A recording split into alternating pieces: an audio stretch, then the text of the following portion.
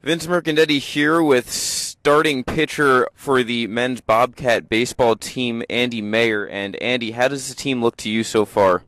The team is uh, coming out to a great start so far. We are currently eight and eight, and uh, we had a great, uh, well, r- kind of a rough series this weekend at uh, Fairleigh Dickinson, but we bounced back, uh, lost the first two, then uh, bounced back and won the second two.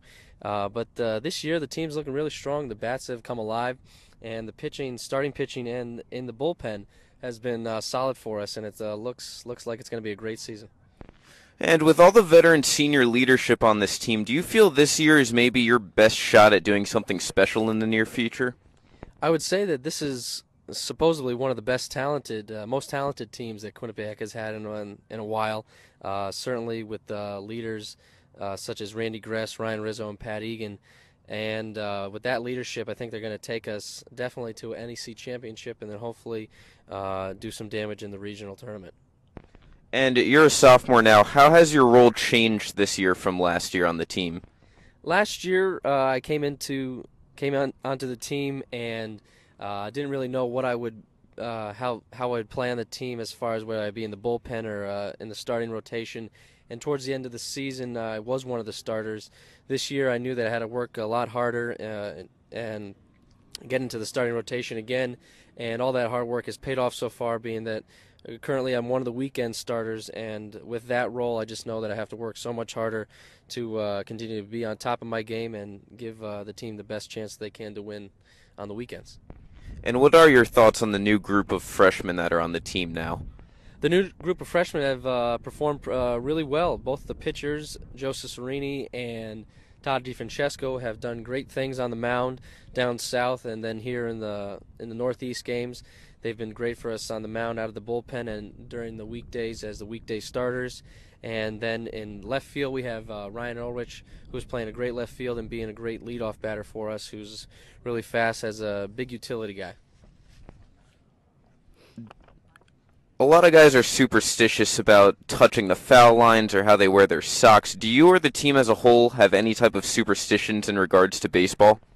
The only superstition that I have is not crossing, uh, not touching that line uh, when I go out to the field. always make sure I give a big hop over it before I step on the mound. But uh, the socks up or the socks down is more of a preference to the players, being that some is just a look thing or some it's a, just a comfort thing. Uh, so, uh, but on the team we do have a thing where people put eye black uh, on their face before the game, and only specific people are allowed to put the eye black on some of the batters, and some are not for uh, good luck purposes.